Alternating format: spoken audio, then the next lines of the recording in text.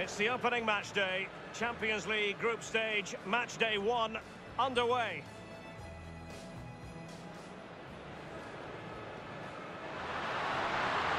Goodness me, he skewed that free kick completely. Wrong, wrong, wrong. Back to the drawing board, young man.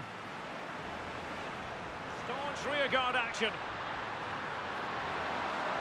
A diving stop of quality from Ederson. Well, he's got springs in his boots, hasn't he? Look at that.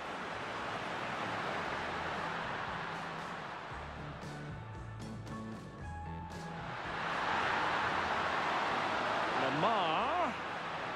And on the basis of that effort, quite clearly, he's not wearing his shooting boots at the moment. Well, it was a strong effort. Used his lacy. Sterling.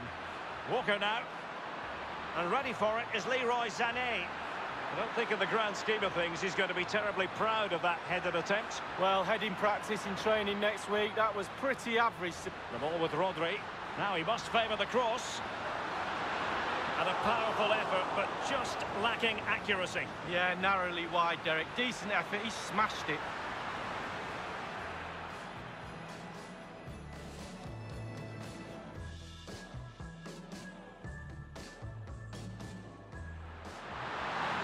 And it's played into the centre. Lightning fast reflexes to preserve the parity. I thought it was going to be the winner, but hats off to the keeper.